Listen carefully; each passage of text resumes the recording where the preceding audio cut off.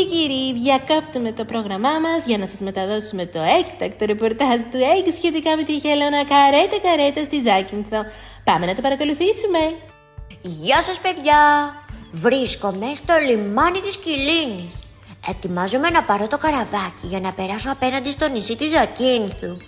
Εκεί με περιμένει η φίλη μου η Ελένη, η οποία φέτος το καλοκαίρι αποφάσισε να συμμετέχει εθελοντικά σε προγράμματα προστασίας θαλάσσιων χελωνών.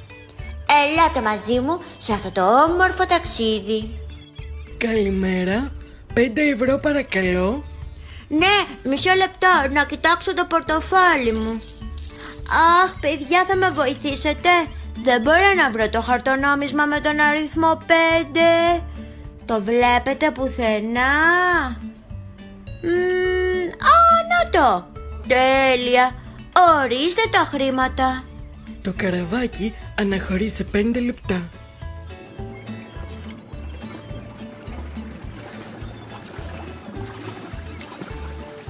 Ουφ, έφτασα. Με έπιασε μια μικρή ναυτία την ώρα του ταξιδιού, αλλά τώρα είμαι μια χαρά.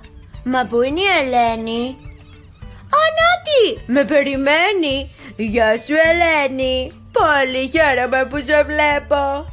Αχ, γεια σου Εγ, πώς ήταν το ταξίδι σου; Εντάξει, ζαλίστηκα λίγο, αλλά τώρα είμαι καλά.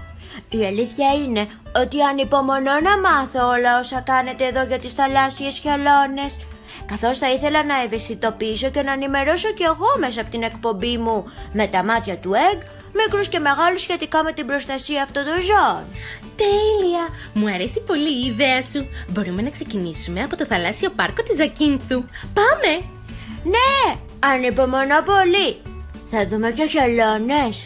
Αν είσαι τυχερό, μπορεί να δούμε και χελώνες. Τέλεια! Φύγαμε για το θαλάσσιο πάρκο.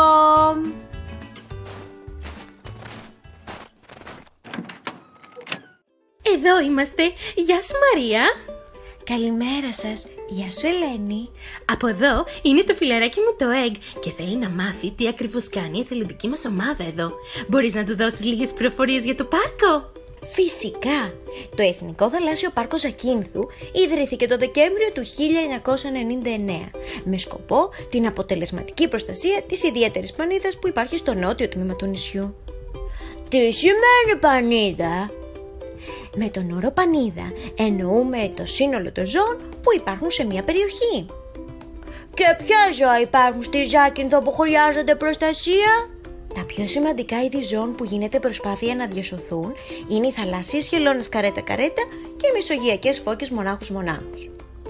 Μπορείτε να μου δώσετε παραπάνω πληροφορίες σχετικά με τις θαλάσσιες χελώνες καρέτα-καρέτα; Βεβαίως, οι θαλάσσιες χελώνες καρέτα-καρέτα είναι ερπετά, με μήκος περίπου ένα μέτρο και παρότι αναπνέουν με πνεύμονες, περνούν το σύνολο σχεδόν της ζωής τους στη θάλασσα, όπου τρέφονται με μέδουσες, μαλάκια και άλλα σπόνδυλα.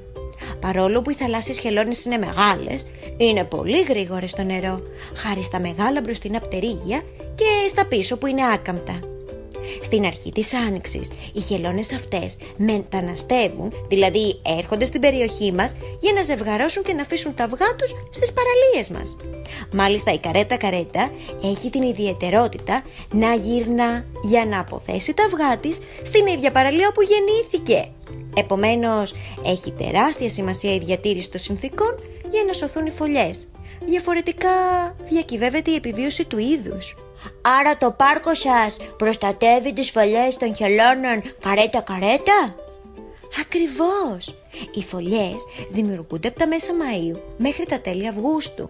Οι θηλυκές χελώνες βγαίνουν κατά τη διάρκεια της νύχτας στην ακτή και αφού επιλέξουν το κατάλληλο σημείο, σκάβουν με τα πτερίγια τους μια τρύπα που λέγεται αυγοθάλαμος και τοποθετούν μέσα κατά μέσο όρο 120 αυγά. Τα αυγά έχουν μέγεθος ως ένα μπαλάκι πινκ-πονγκ και έλφος μαλακό για να μην σπάνε. Wow! Πολλά αυγά! Και μετά τι γίνεται; Τα μικρά χελωνάκια μόλις γεννηθούν βγαίνουν από την άμμο κυρίως το βράδυ και με τη βοήθεια της αντανάκλασης του φωτός των αστεριών και της σελήνης στο νερό βρίσκουν τη θάλασσα. Δυστυχώς μόνο ένα μικρό μέρος από τα χελωνάκια επιβιώνει γιατί σήμερα υπάρχουν εμπόδια στη θάλασσα όπως για παράδειγμα τα φώτα από τα μαγαζιά που αποπροσανατολίζουν τα χελωνάκια. Αυτό είναι τρομερό. Τι μπορούμε να κάνουμε για να βοηθήσουμε τα χελωνάκια; Υπάρχουν ορισμένα μέτρα που είναι καλό να ακολουθούμε όταν βρισκόμαστε σε παραλίες τις οποίες γεννούν οι χελώνες καρέτα καρέτα. Αρχικά, φροντίζουμε οι παραλίες μας να είναι καθαρές για εμάς και τις χελώνες, παίρνοντας τα σκουπίδια μας όταν φεύγουμε. Ακόμη, όταν παίζουμε στην παραλία οτοκίας ή δημιουργούμε κατασκευές από άμμο, μένουμε πολύ κοντά στη θάλασσα και φροντίζουμε να τα ισοπεδώσουμε πριν φύγουμε, καθώς αποτελούν εμπόδιο για τα μικρά χελωνάκια στην προσπάθειά τους να φτάσουν στη θάλασσα. Είναι πολύ σημαντικό να μην τοποθετούμε στην άμμο ομπρέλες, καθώς μπορεί να χτυπήσουμε κατά λάθος κάποια φωλιά. Στο μόνο σημείο που επιτρέπεται να στήσουμε την ομπρέλα μας είναι πίσω-πίσω και πάντα ακολουθώντας τις οδηγίες του φύλακα. Για τον ίδιο λόγο δεν επιτρέπονται και κατοικίδια ζώα σε αυτές τις παραλίες καθώς υπάρχει ο κίνδυνος να ξεθάψουν και να χαλάσουν κάποια φωλιά. Αν είμαστε παρόντες την ώρα που τα μικρά χελωνάκια βγαίνουν από τη φωλιά τους, δεν τα αγγίζουμε, αλλά τα αφήνουμε να φτάσουν στη θάλασσα μόνα τους. Καλούμε το φύλακα περιβάλλοντος και ακολουθούμε τις οδηγίες του. Τέλος, δεν μετακινούμε ούτε αφαιρούμε φυσικά υλικά από τις παραλίες οτοκίας. Ομοίως, δεν αφαιρούμε αχινούς, αστερίες και άλλα θαλάσσια είδη από το βυθό της θάλασσας. Η ομορφιά και ο φυσικός πλούτος της περιοχής εξαρτάται από τη συμμετοχή μας. Πολύ ενδιαφέρουσες οι πληροφορίες. Σε ευχαριστώ πολύ Μαρία. Ωχ, Εγγ, η ώρα πέρασε και πρέπει να πάμε να συναντήσουμε τους υπόλοιπους εθελοντές στην παραλία. Μαρία, σε ευχαριστώ πολύ. Θα τα πούμε αργότερα εμείς. Γεια σας! Γεια σας παιδιά! Σήμερα θα είναι στην παρέα μας και το Egg. Μα πού είναι οι υπόλοιποι; Hello! Μόλις διασώσαμε μια τραυματισμένη θαλάσσια χελώνα. Είναι καλά η χελώνα. Um, είχε παγιδευτεί μέσα σε μια πλαστική σακούλα που κάποιος είχε πετάξει στη θάλασσα. Ευτυχώς μας κάλεσαν αγκαίρος και τώρα είναι καλά. Τη βοηθήσαμε πολύ προσεκτικά αφαιρώντας τα πλαστικά μέρη της σακούλας από πάνω της. Αυτό είναι πολύ θλιβερό. Πρέπει να προστατεύουμε τις θάλασσες και τις ακτές μαζεύοντας πάντα τα σκουπίδια μας. Πράγματι, έχεις απόλυτο δίκιο. Πρέπει να φύγουμε τώρα για να μεταφέρουμε τη χελώνα στο κέντρο διάσωσης. Bye! Έλα, Egg, έλα μαζί μου. Πάμε να ελέγξουμε τι γίνεται στην παραλία οτοκίας. Θα είσαι βοηθός μου σήμερα. Φύγαμε! Χμ, εδώ μάλλον κάποιοι ξέχασαν τις οδηγίες. Παρατηρείς κάτι που δεν πάει καλά. Για να δω. Παιδιά, βοηθήστε με κι εσείς να βρούμε τι είναι λάθος εδώ.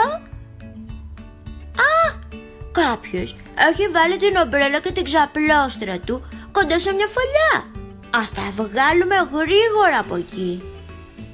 Μμμ, και εκείνα τα κάστρα, ποιος τα άφησε έτσι; Είναι εμπόδιο για τις χελώνες. Ας τα ισοπεδώσουμε. Μα δεν το πιστεύω. Έχετε δίκιο παιδιά. Η παραλία έχει πολλά σκουπίδια. Ας τα μαζέψουμε γρήγορα για να μην καταλήξουν κι αυτά στη θάλασσα και το φάει καμιά γελώνα. Μα τι ακούγεται; Μια ομάδα παιδιών παίζει εκεί κάτω. Ξέχασα να σου πω ότι στις παραλίες οτοκίας, πέρα από το φως, δεν πρέπει να κάνουμε φασαρία, γιατί αποπροσανατολίζονται τα χελωνάκια. Πάω να τους πω να κάνουν ησυχία.